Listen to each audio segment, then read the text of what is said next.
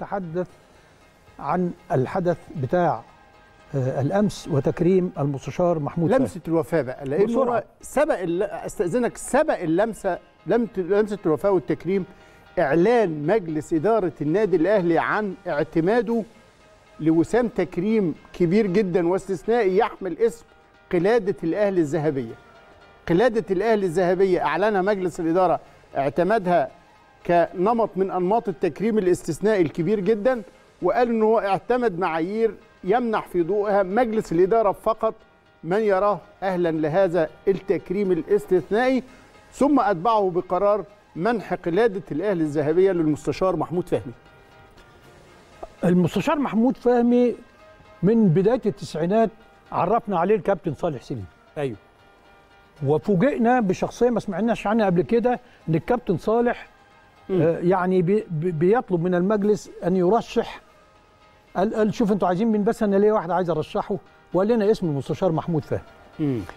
أنا عاصرت هذا الرجل عضو بمجلس الإدارة وعاصرته وأنا مسؤول ومدير النادي وشفته في وهو بيشتغل وشفته وقربت منه. طبعا في قضايا كثيرة للنادي الأهلي. بالمناسبة هو كان مستشار جليل وكبير بمجلس الدولة. ده أنا هقول لك يعني بقى تاريخه القضائي؟ لا تاريخ إيه؟ آه. فابتدى يحكي لنا فاكتشف انه احد ظرفاء هذا العصر. ظرفاء؟ آه طبعا يتحدثون عن ظرفاء هذا الح- العصر. فتيجي سيرة فكري أباظة. آه. تيجي سيرة آه، أحمد رجب رحمة الله عليهم. تيجي سيرة آه، لكن اللي من الناس ما تعرفوش إن في ظرفاء العصر اللي في النادي الأهلي على فكرة منهم صالح سليم. ما حدش يعرف دي. آه. أحد ظرفاء هذا ال- العصر. أيوه أما تاخد منه كلام فلسفي بسخرية آه، زوايا عميقة جدا. آه. ومنهم الرائع المتحدث الذي لا تمل من سماعه وهو يحكي قصص حقيقية حدثت له وحدثت للأهلي وحدثت آه، في مجال عمله. و و و و انت بتقول مكانته؟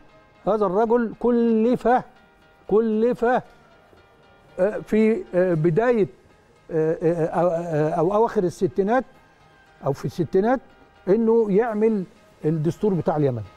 اليمن؟ آه. آه. وسافر وحكى لنا بقى القصة دي وكيف أنه يعني آه، آه، إيه المواقف الطريفة اللي حصلت له؟ كان عايز يرجع وما عرفش يرجع غير لما يخلص. أما ما تسمع منه القصص بسرد رائع جدا وجميل جدا. مكانه وقيمة وقامة وأحد خبراء التحكيم آه، القانوني. آه، الدولي. والقانوني.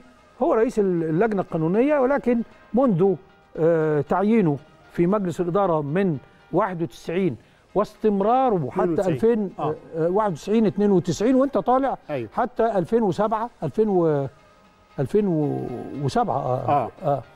آه يعني المجالس اللي جت بعد كده لكن مستمر في عطائه كرئيس اللجنة آه القانونية والرجل اللي استلجا إليه في في حدوث أي أزمة وإذا كان لهذا الرجل إنجاز في النادي الأهلي وحيد إنه يعمل أو يشترك أو يشرف أو يعني يكون مسؤول عن خروج آه، النظام الأساسي للنادي الأهلي بهذه الكيفية.